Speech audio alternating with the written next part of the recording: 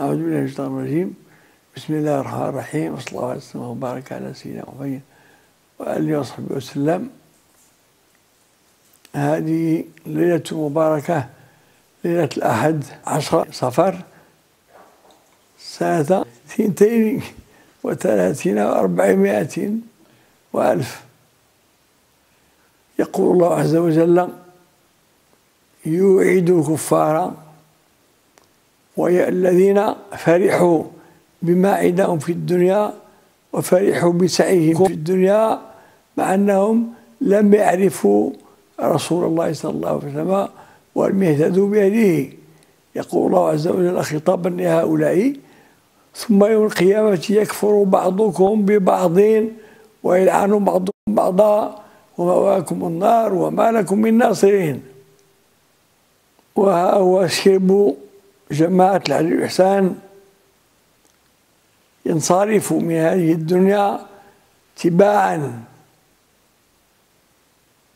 يتلو الأولين الآخرون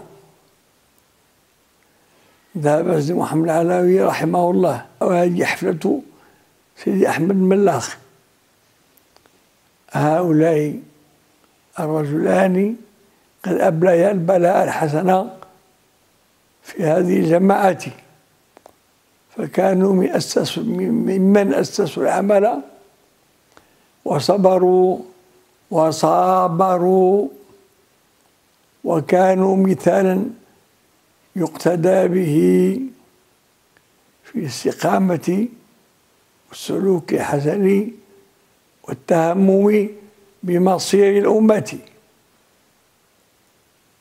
صلى الله عز وجل أن يرحمهما وأن يحيق بهما هذه الأجيال المقبلة التي ينبغي لها ألا تنسى موعدا لنا يوميا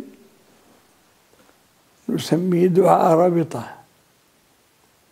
فإن من انصرفوا من هذه الدار ينتظرون من يترحم بهم ممن خلفهم. والله عز وجل أوصانا بصلة الرحم لا سيما الرحم الروحية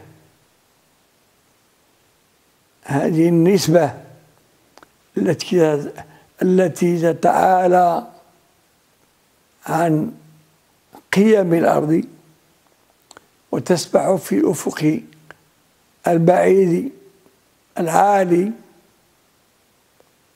أفقي مناجاة رحمة الله عز وجل وانتظار رحمته.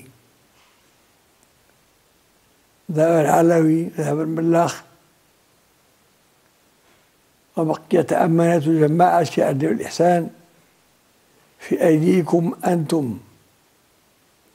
أشبال جماعة العدل والإحسان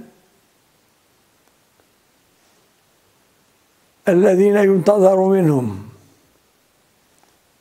مع تيسير الله عز وجل وفضله وكرمه أن تقوموا بواجبكم سعيا لأن من قبل بركة الله عز وجل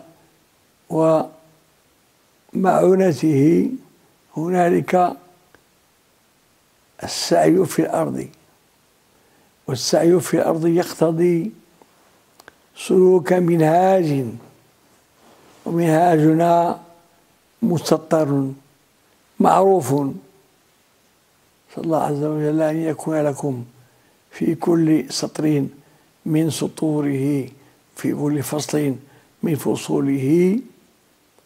نبراس ينير لكم الطريق إلى أن تكون ممن يطلب معالي الأمور وأعلى ما هنالك من الأمور هو التقرب من الله عز وجل. رحم الله أحمد الملاخ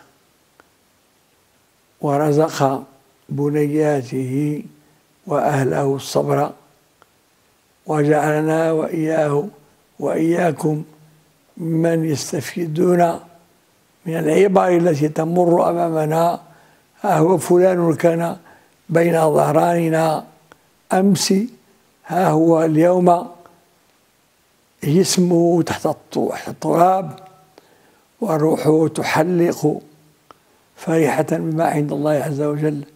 ذلك نسأله الله عز وجل لنا ولهم. والسلام عليكم ورحمة الله وبركاته. وصلى الله على سيدنا محمد النبي وأزواجه. أمهات المؤمنين وذريته وآل بيته كما صليت على سيدنا إبراهيم وعلى آل سيدنا إبراهيم في العالمين إنك حميد مجيد. سبحان ربك رب العزة عما يصفون وسلام على المرسلين والحمد لله رب العالمين.